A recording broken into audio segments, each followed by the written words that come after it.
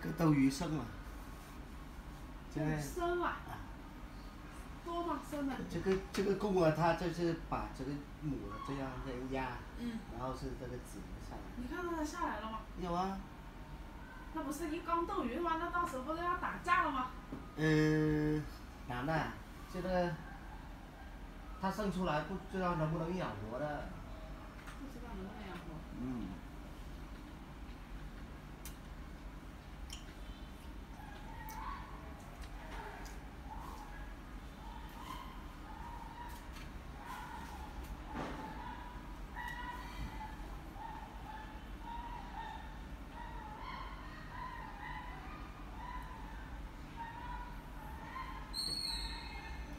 这斗鱼上来也很独特，要公的夹的那个母的。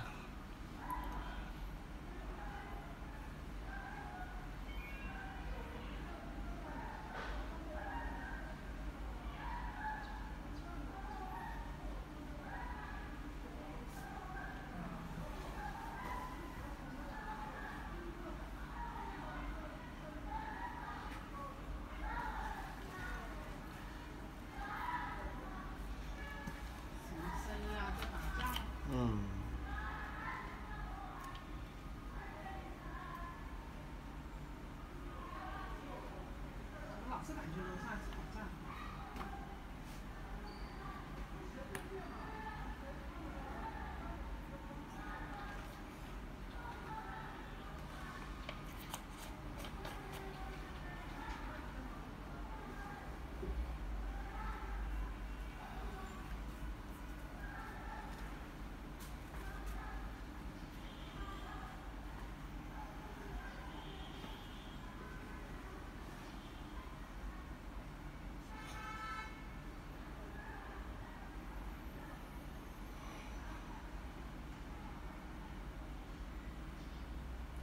có đứa có đang đi ờ, tìm trứng để nó nhặt đấy.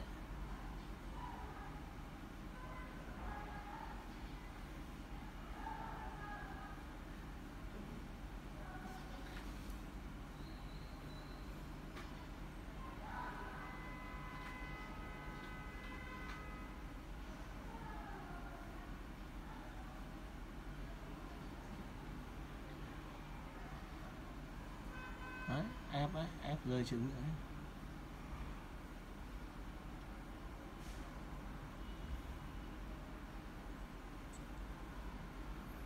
可以看到它生那个那个籽的过程呢。你拍下来了。啊。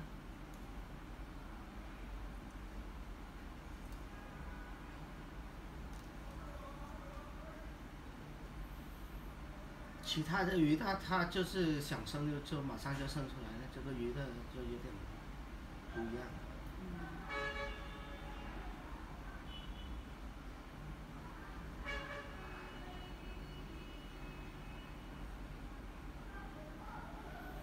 我小时候让他生过了。我小时候也养鱼卖的，养这个斗鱼要几千个的。能卖，就是价格好吗？呃，能卖啊。小的时候卖，就是卖到的就，反正价格那时候也不懂，有钱了就好。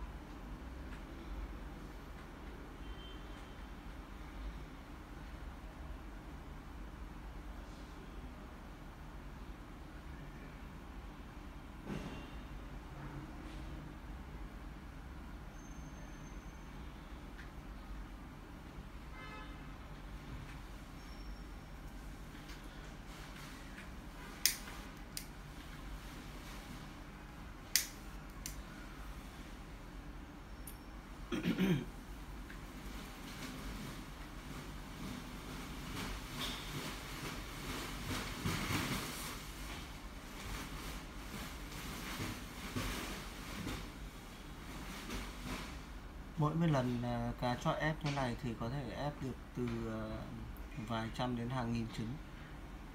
Nhưng tỷ lệ nở tỷ lệ thành công thì rất là khó nói. Liên quan rất là nhiều vấn đề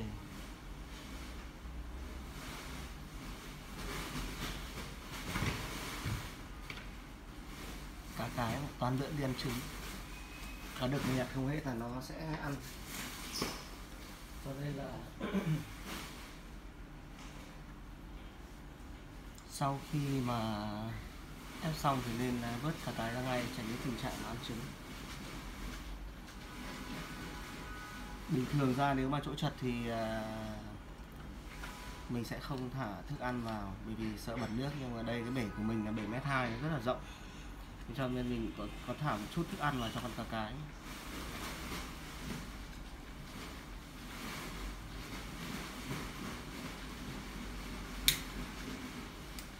Để tránh cái trường hợp của nó à, ăn trứng.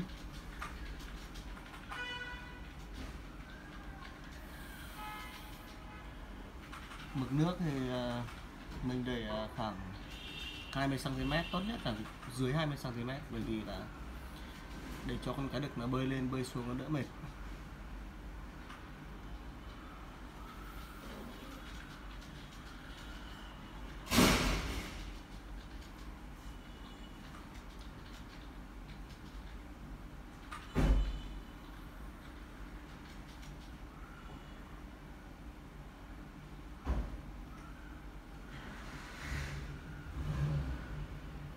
Cá được rất chịu khó, tìm quanh quẩn luôn.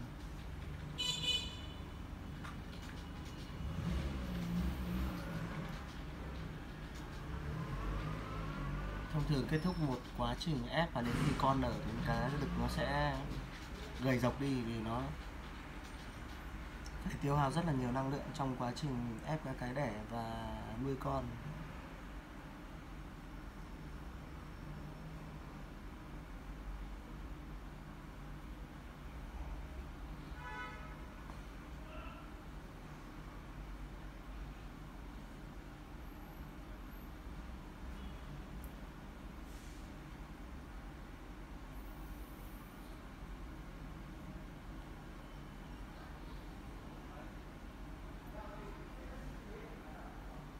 Khi mình ép đôi này, mình cũng ờ, muốn để cho nó tự nhiên, cho nên là mình nhặt rong ở ngoài hồ về vớt bao về. Là chưa cho bể ngay mà ngâm nước muối trước. Để ờ, khử các cái mầm bệnh. Mấy hôm để bên ngoài thay nước rửa sạch, sau đó mới cho vào bể. Bể nước này mình cũng đã chiếu đèn ờ, chiếu đèn từ ngoại trước khi cho cá vào để diệt hết các cái mầm bệnh.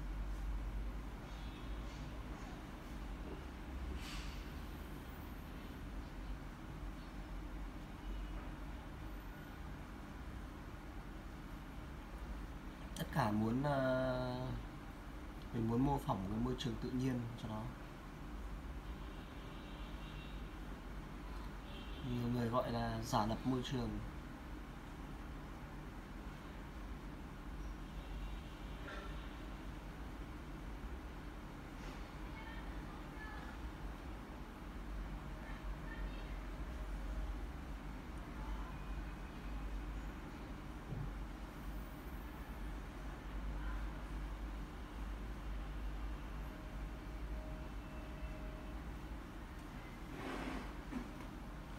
上诉人。